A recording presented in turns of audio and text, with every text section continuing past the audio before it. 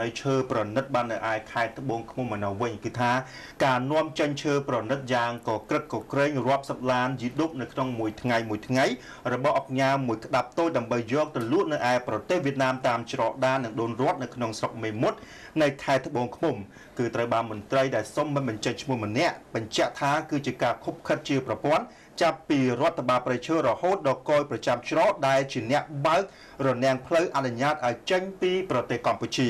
ឈើប្រណិតប្រភេទក្រញូងនាងនួនសក្រមដែលកំពុងតែមានទីផ្សារខ្លាំងនៅក្នុងប្រទេសវៀតណាមសម្រាប់ការនាំចេញបន្តទៅកាន់ប្រទេសផ្សេងផ្សេងទៀតនោះត្រូវបានក្រុមអង្គការមួយចំនួនដូចជាអង្គការសឹងសំអល់និងអង្គការថៃជាដើមយកលេសព្រៃសម្បទានធ្វើការកាប់និងដឹកជញ្ជូនស្ទើរតែរលាយព្រៃនិងខ្ទេចផ្លូវអស់ទៅហើយដើម្បីសម្រុកនាំចេញទៅកាន់ប្រទេសវៀតណាមដោយមានការបើកភ្លើងខៀវពីមន្ត្រីពាក់ព័ន្ធដូចជារដ្ឋបាលប្រៃឈើនិងមន្ត្រីកយប្រចាំច្រកជាពិសេសគឺច្រកដាច្រកដានិងដូនរត់នៅក្នុងស្រុកមេមត់ខេត្តត្បូងឃ្មុំដែលឈើប្រណិតទាំងនេះចេញច្រើនជាងគេ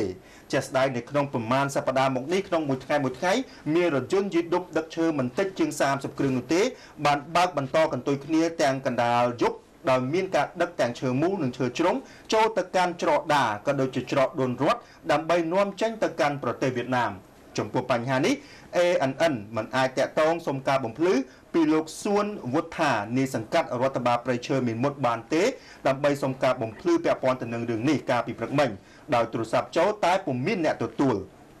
ទោះបីជាយ៉ាងណាក៏ដោយកន្លងមកលោកសួនវុធាបានធ្លាប់បានប្រាប់ដល់ ANN ថាឈើដែលត្រូវបានដឹកចេញទាំងនោះគឺសិតសឹងតែជាឈើដែលមានច្បាប់អនុញ្ញាតទាំងអស់ ក៏ប៉ុន្តែបើយោងទៅតាមច្បាប់អនុញ្ញាតឬគេហៅថា PC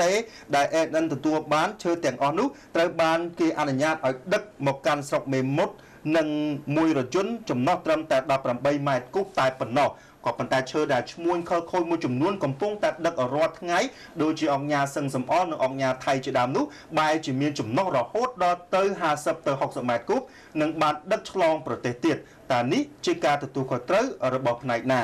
បើយោងតាមសមាជិកមួយរូបដែលសុំនិយាយនៅក្នុងលក្ខខណ្ឌមិនបញ្ចេញអត្តសញ្ញាណបានថ្លែងថាច្បាប់អនុញ្ញាតដឹកឈើគឺអាចធ្វើឡើងបានតែក្នុងស្រុកតែប៉ុណ្ណោះ ក៏ប៉ុន្តែការដែលឈើទាំងនោះអាចដឹកចេញឆ្លងប្រទេសបានយ៉ាងដូចនេះគឺត្រូវតែមានការគ្រប់គ្រងអនុញ្ញាតពីខាងសមត្ថកិច្ចច្រកព្រំដែនជាពិសេសគឺកយតែម្ដងទើបអាចធ្វើទៅបាន។